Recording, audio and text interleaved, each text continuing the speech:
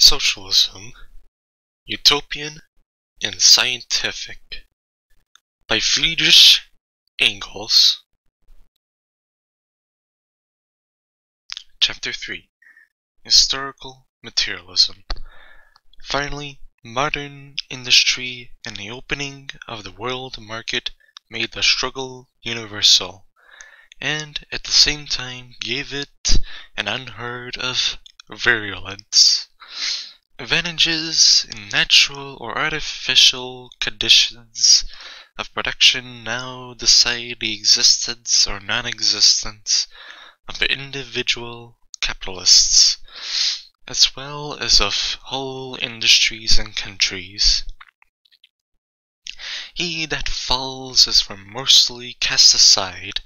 It is the Darwin, Darwinian struggle of the individual for existence transferred from nature to society with intensified violence. The conditions of existence natural to the animal appear as the final term of human development. The contradiction between socialized production and capitalistic appropriation now presents itself as an antagonism between the organization of production in the individual workshop and the anarchy of production in society generally.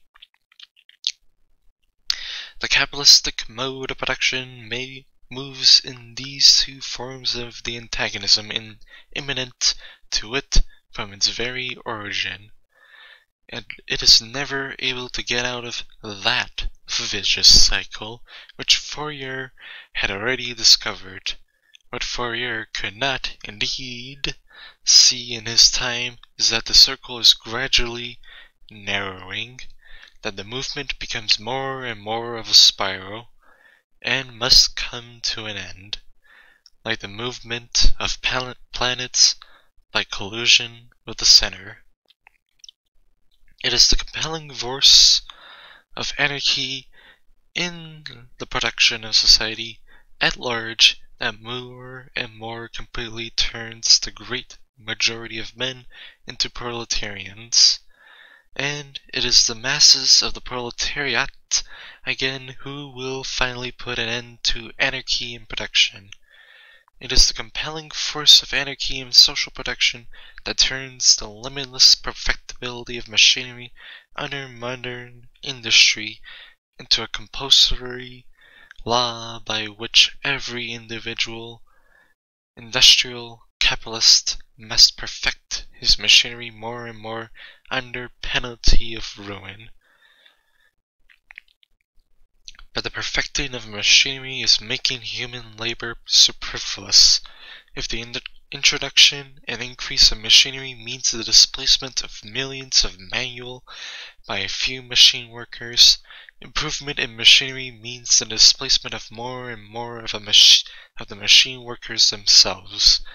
It means, in the last instance, the production of a, of a number of available wage workers in excess of the average needs of capital, the formation of a complete industrial reserve army, as I called it in 1845, available at the times when industry is working at high pressure, to be cast out upon the street when the inevitable crash comes, a constant dead weight upon the limbs of the working class in its struggle for existence with capital, a regulator for keeping of wages down to the low level that suits the interests of capital.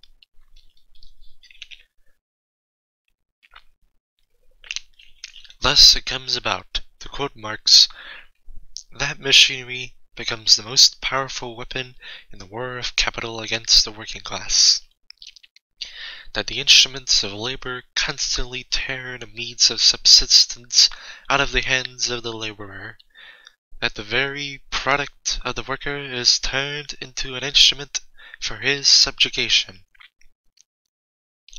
Thus it comes about that the economizing of the instruments of labor becomes at the same time, from the outset, the most reckless waste of labor power, and robbery based upon the normal conditions which labor functions, that machinery. The most powerful instrument for shortening labor time becomes the most unfailing means for replacing every moment of the laborer's time and that of the family at the disposal of the capitalist for the purpose of expanding the value of his capital. Das Kapital, English edition, page 406. Thus, it comes about that the overwork of some becomes the preliminary condition for the idless, idlelessness of others. That modern industry, which hunts after new consumers over the whole world, forces the consumption of the mark of the masses at home down to a starvation minimum, and doing thus destroys its own home market. The law that always, equilibrates the relative surplus population or industrial reserve army to the extent and energy of accumulation. This law rivets the laborer to capital more firmly than the wedges of the Vulcan did Prometheus to the rock. It establishes an accumulation of misery corresponding with the accumulation of capital. Accumulation of wealth at one pole is, therefore, at the same time accumulation of misery, agony of, of toil, slavery, ignorance, brutality, mental degradation at the opposite side. It est on the side of the class that produces its own product, product in the form of capital. Marx's cap Das Kapital, page 661. And to expect any other division of the products from the capitalist mode of production is the same time is the same as expecting the electrodes of a battery not to decompose acidulated water, not to liberate oxygen at the positive, hydrogen at the negative pole so long as they are connected with the battery. We have seen that the ever-increasing perfectibility of modern industry is, by the anarchy of social production, turned into a compulsory law that forces the individual industrial capitalist always to improve his machinery, always to increase its productive force, the bare possibility of extending the field of production is transformed for him into a similar, similarly compulsory law. The enormous expansive force of modern industry, compared with which that of gases is mere child's play, appears to us now as a necessity for expansion for qualitative and quantitative that laughs at all resistance. Such resistance is offered by consumption, by sales, by the markets for the products of modern industry. But a capacity for extension, extensive and intensive, of the markets is primarily governed by quite different laws that work much less energetically.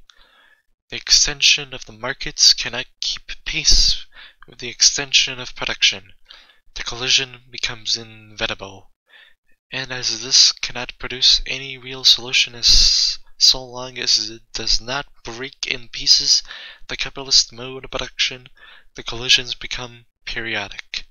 Capitalist production has begun another vicious cycle.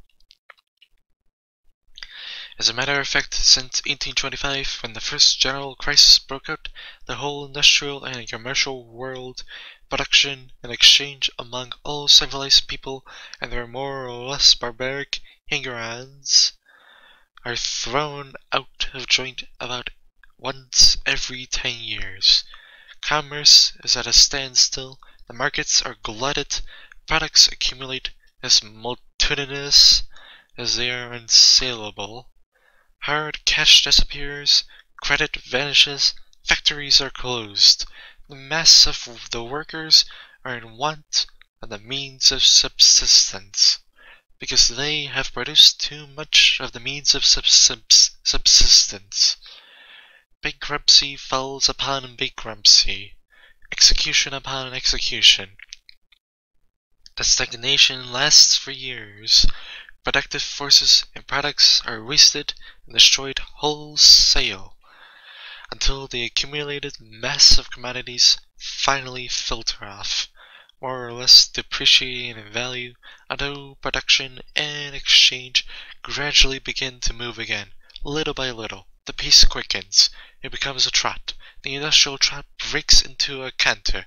The canter in turn grows into the headlong gallop of a perfect steeplechase of industry, commercial credit, and speculation, which finally, after breakneck leaps, ends where it began.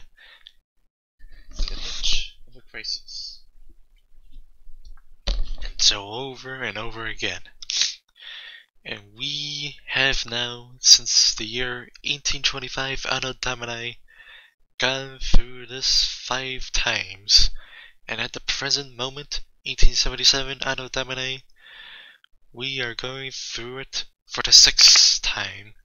And the character of these crises is so clearly defined that Fourier hit all of them off when he described the first crises parathorique, a crisis from Plethora. In these crises, the contradiction between socialist production and capitalist appropriation ends in a violent explosion. The circulation of commodities is, for the time being, stopped. Money, the means of circulation, becomes a hindrance to circulation. All the laws, production, and circulation of commodities are turned upside down. The economic collision has reached its apogee. apogee. The mode of production is the rebellion against the mode of exchange. The fact that a socialized organization of production within the factory has developed so far that it has become incompatible with the anarchy of production in society which exists side by side with and dominates it is brought home to the capitalists themselves by the violent concentration of capital that occurs during crises, Through the ruin of many large and a still greater number of small capitalists. The whole mechanism the capitalist mode of production breaks down under the pressure of the productive forces, its own creations. It is no longer able to turn all this mass of means of production into capital. They lie fallow, and for that very reason the Industrial Reserve Army must also lie fallow. Means of production, means of subsistence, available laborers, all the elements of production and of general wealth are present in abundance, but abundance becomes the source of distress and want, as quoted to Fourier because it is the very thing that prevents the transformation of the means of production and subsistence into capital. For in capitalistic society, the means of production can only function when they have undergone a preliminary transformation into capital, into the means of exploiting human labor power. The necessity of this transformation of, into capital of the means of production and subsistence stands like a ghost between these and the workers. It alone prevents the coming together of the material and personal levers of production. It alone forbids the means of production to function. The workers to work and live. On the one hand, Therefore, the capitalistic mode of production stands convicted of its own incapacity to further direct these productive forces. On the other, these productive forces themselves, with increasing energy, press forward to the removal of the existing contradiction, to the abolition of their quality as capital, to the practical rec recognition of their character as social production forces. this rebellion of the of the productive forces as they grow more and more powerful against their quality as capital, this stronger and stronger command that their social character shall be recognized forces the capital capital class itself to treat them more and more as social productive forces, so far as this is possible under capitalist conditions. The period of industrial high pressures, with its unbounded inflation of credit, not less than the cash itself, by the collapse of great capitalist establishments, tends to bring about that form of socialization of, of great masses of the means of production which we meet with in the different kinds of joint stock companies. Many of these means of production and of distribution are, from the outset, so colossal that, like the railways, they exclude all other forms of capitalistic expansion. At a further stage of evolution, this form also becomes insufficient.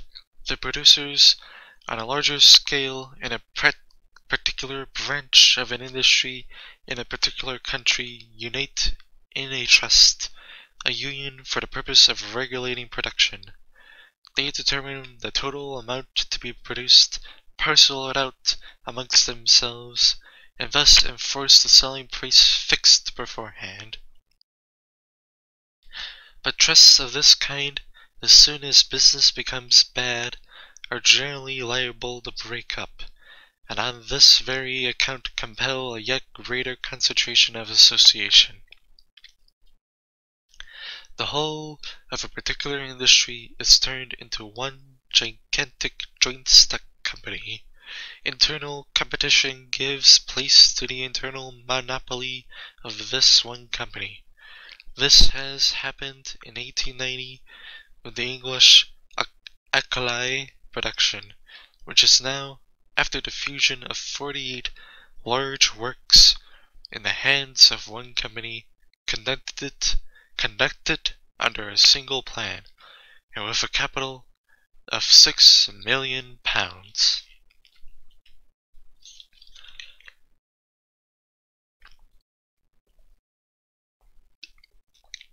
The trusts freedom of competition changes into its very opposite, into monopoly. And the production, without any definite plan of capitalistic society, capitulates to the production upon a definite plan of the evading socialistic society. Certainly, there is so far still to, to the benefit and advantage of the capitalists but in this case, the, the exploitation is so palpable that it must break down. No nation will put up with, a, with, the, with production conducted by trusts, with so barefaced an exploitation of the community by a small band of dividend mongers. In any case, with trusts or without, the official representative of capital society, the state, will ultimately have to undertake the direction of production. This necessity for conversion into state property is felt first in the great institutions for intercourse and communication, the post office, the telegraphs, the railways. If the crises demonstrate the capacity of the bourgeoisie for managing any long, longer modern productive forces, the transformation of the great establishment, establishments for production and distribution into joint stock companies, trusts, and state property show how unnecessary the bourgeoisie are for that purpose. All the social functions of the capitalist has no further social function than that of pocketing dividends, tearing off coupons, and gambling on the stock exchange, where the different capitalists despoil one another of their capital. At first, the capitalistic mode of production forces out the workers. Now it forces out the capitalists and reduces them, just as it reduced the workers to the ranks of surplus population, although not immediately into those of the Industrial Reserve Army. But the transformation, either into joint stock companies and trusts or into state ownership, does not do away with the capitalistic nature of the productive forces.